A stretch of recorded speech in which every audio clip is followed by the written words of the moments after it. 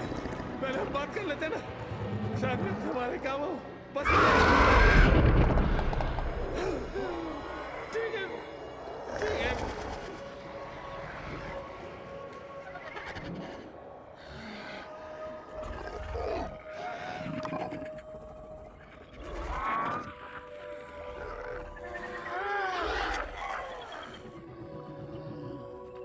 you